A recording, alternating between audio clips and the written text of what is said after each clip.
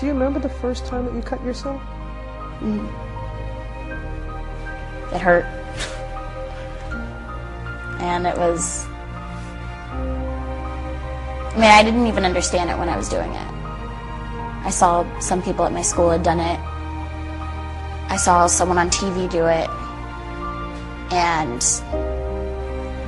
I thought, this is a way to deal with how you're feeling. Just, you know, other people are doing it, it's fine.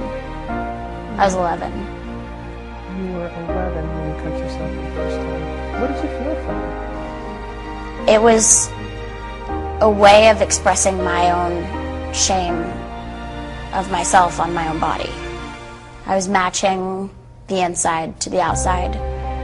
And there were some times where my emotions were just so built up, I didn't know what to do.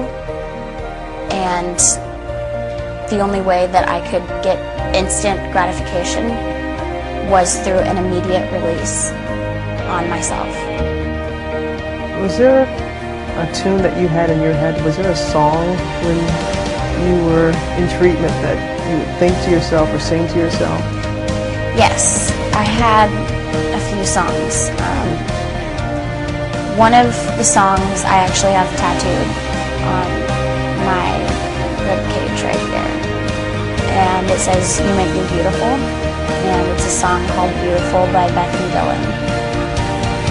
It just talks about, in the beginning of the song, she's struggling with finding her own beauty and feeling confident. And then towards the end of the song, it changes